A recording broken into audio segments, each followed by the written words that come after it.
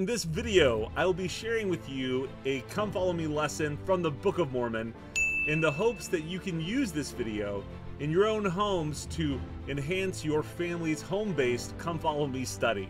Throughout the video, feel free to pause at your convenience and discuss. You can also read in your own scriptures, and I encourage you to mark them up yourself. I hope this video helps your family, and if it does, please like and subscribe and share with your friends.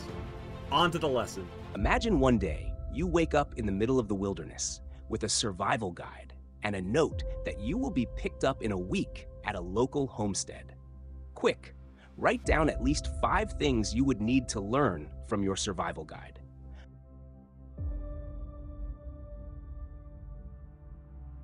What did you learn from your survival guide and why? How will your survival guide help you find your way back home? Listen to what our prophet, President Russell M. Nelson, said about a survival guide for your life. Few things build faith more than does regular immersion in the Book of Mormon. No other book testifies of Jesus Christ with such power and clarity. Its prophets, as inspired by the Lord, saw our day and selected the doctrine and truths that would help us most. The Book of Mormon is our latter day survival guide. What did President Russell M. Nelson say? The Book of Mormon is. Dun, dun, dun. How are the doctrine and truths you find in the scriptures helping you survive spiritually? Can you think of any recent examples? Amid all the contention recorded in Helaman chapters 1 through 6, there were temporary moments of peace. Many thousands were baptized into the church, and the church prospered, and the Nephites and Lamanites lived in unity as both groups turned to the Lord. Mormon often paused his narration of Nephite history to highlight important doctrine and principles of truth. He did this by using the statement, Thus we see. Let's read Helaman chapter 3, verses 27 to 30 together. Thus we may see that the Lord is merciful unto all who will, in the sincerity of their hearts, call upon his holy name. Yea, thus we see that the gate of heaven is open unto all, even to those who will believe on the name of Jesus Christ, who is the Son of God. Yea, we see that whosoever will may lay hold upon the word of God, which is quick and powerful, which shall divide asunder all the cunning and the snares and the wiles of the devil and lead the man of Christ in a straight and narrow course across that everlasting gulf of misery, which is prepared to engulf the wicked, and land their souls, yea, their immortal souls, at the right hand of God in the kingdom of heaven, to sit down with Abraham and Isaac and with Jacob and with all our holy fathers, to go no more out. Identify the thus we see statements of truth and record them in your own words in your study journal. Share the truths that you found and how you translated them into modern speech.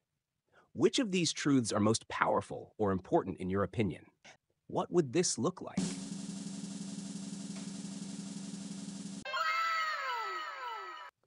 Helaman chapter 6, verses 34 to 36.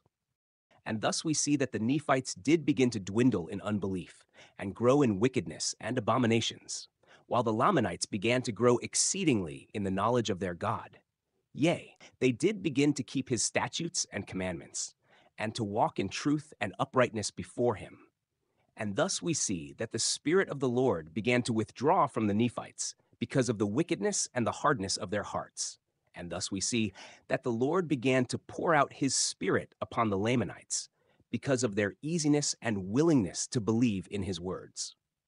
Try identifying the Thus we see statements of truth and record them in your own words in your study journal. Share the truths that you found and how you translated them into modern speech. Which of these truths are most powerful or important in your opinion? How do we lose the spirit compass in our lives? How do we receive more of the spirit compass to guide us?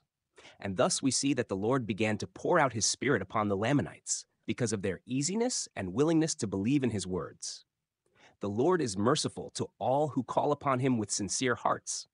See Helaman chapter 3, verse 27. The gate of heaven is open to all who believe in Jesus Christ. See Helaman chapter 3, verse 28. Anyone who desires can study the word of God, which will lead them to the kingdom of God. See Helaman chapter 3, verses 29 through 30. The better we know God, the more likely we are to keep his commandments, See Helaman chapter 6, verse 34. If we are wicked and harden our hearts, then the Spirit of the Lord will withdraw from us. See Helaman chapter 6, verse 35. If we choose to willingly believe in the Lord's words, then he will pour out his Spirit upon us. See Helaman chapter 6, verse 36. Choose one of the truths you found and list some of the spiritual dangers, challenges, or attacks on faith that this truth can help you survive. Write how to survive and finish the statement with one of the dangers, challenges, or attacks you listed. Explain in drawings or words how this truth can help you survive spiritually. Incorporate at least two of the following ideas into your survival guide. Why this truth can help someone spiritually survive the difficulty you listed. Other scriptures that relate to this truth or help with the difficulty you listed. How this truth brings you or others to Jesus Christ or helps you receive his strength. What could happen to people if this truth is not known or not followed? How the world would change if everyone chose to live by this truth.